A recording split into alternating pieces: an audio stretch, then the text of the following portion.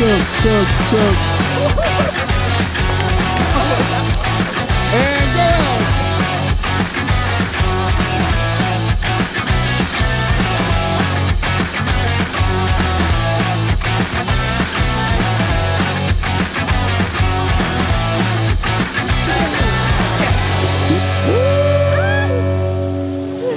Come here.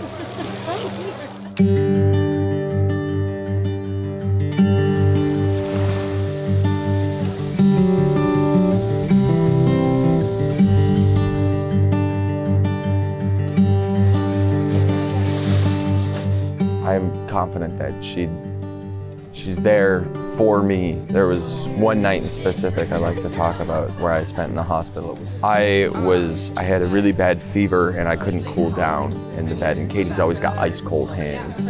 So I was trying to sleep and I was just laying there on the bed and she put her hand against my head and it was like the best feeling I'd had. You know, it's one of those things and she was there all the time no matter how gross or not just sad or anything it was for her to be there. She was there no matter what, and she didn't complain once.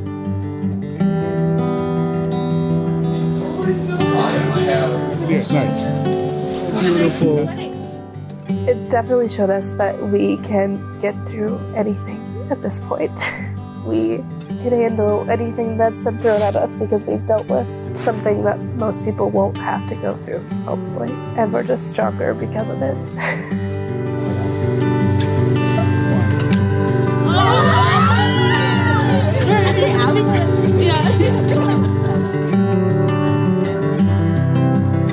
Just, I guess that I love her and I could never love her more than anyone or anything.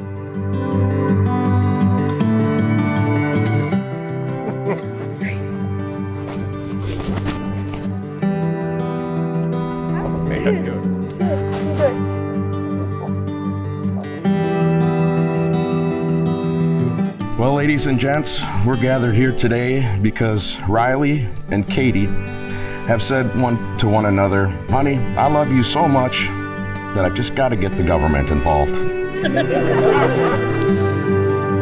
I am just finally so excited to be walking down the aisle. I mean, it's been six years in the making, and I am just ready to be married to him.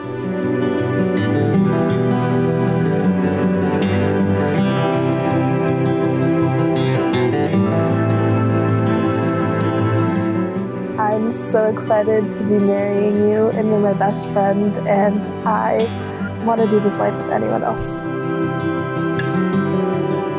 By the power vested in me by the state of Wisconsin, I now pronounce you husband and wife. Yeah. Go on, kiss her. All right.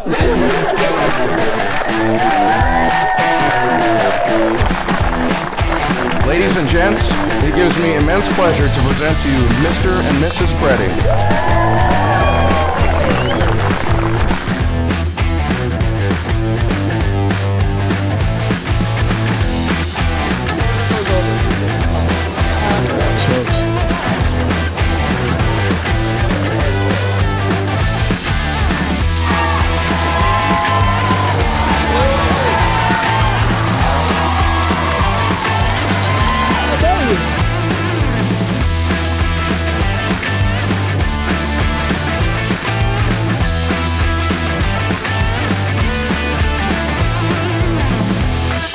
Love him. Great, great, great couple. Love Riley.